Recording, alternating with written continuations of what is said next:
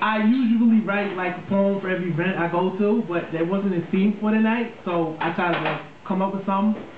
And since it's called Mute, I decided to do something with like mute. So this one is called Mute Words. Okay? It was inspired by being mute. Okay. Mute words, okay? Okay. okay.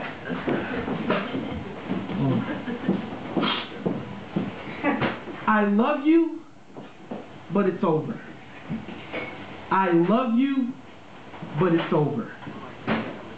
She said it so casually, as if to innocently tell me that everything we had till that point was for nothing. All our memories and love dropped. And I swear to you, for that one second, time stopped. And I stood there, looking at her with eyes that didn't believe because I knew she was hiding words she didn't want to tell me. I was trying to read between the lines, but there were no words to be read. And I was looking at it so hard, but it seemed as if that space in between those sentences was nothing more than dead. But I had to be certain. So I walked up to the edge of, but it's over, and looked down. And it was nothing but darkness and not one single sound. It was scary. But I didn't want to read between the lines anymore, no. I wanted to jump in. So I did. And as I fell, I could hear words she never said whispering. Will he be mad? Will he be sad? Will he scream right away? What is he going to say? Am I doing the right thing? Is this a mistake? His heart is one I never wanted to break. As I landed, I found myself in complete darkness. The only light was a storm above me. It was raining, but not a single raindrop touched me. And in front of me appeared my imagination, speculation, and self-pity. We had a conversation about everything she could have hid from me. Maybe she cheated on me. Maybe she found a new love, or maybe her patience just ran empty. And then a little boy appeared. He grabbed my hand and told me, if you want the truth, you have to get past these three. So I did. And as I passed him, the storm cleared. And then the darkness grabbed the little boy. He smiled, and then he too disappeared. And so I stood there alone in the dark. My only company was my fear. And as I felt like I needed her next to me, that little boy's voice said, She's no longer there. Let it go.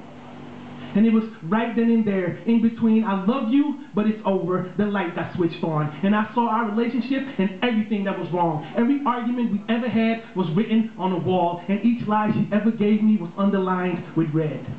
And the further we got into the relationship, red was under everything she said. Until I finally saw I love you, but it's over. And there stood that little boy with a red crayon starting to draw that line. And he had a blindfold on. He lifted one side so he could see with one eye. And then he smiled and disappeared again, but not before he said, finally. And then I ran to the wall. I started climbing my way back up. With each inch that I passed, I felt myself getting less of up. So and finally, I came to I love you, and I climbed my way out. I looked at my body, and that's what broke the time out. And once again, the clock started to tick. And I found myself looking at it with eyes that didn't want to see it as I said, it's okay. I get it. Don't call me, and I won't call you. You have a good life, and I hope you find someone that can make you happy. I stood up and walked away. I had nothing more to say. I never looked back at that part of misery, and then bam, all of a sudden time stopped. Only this time it wasn't me. Now, love is nothing more than a word. It's blind until the moment that it breaks. Sometimes your mind plays tricks with you, but sometimes it's real.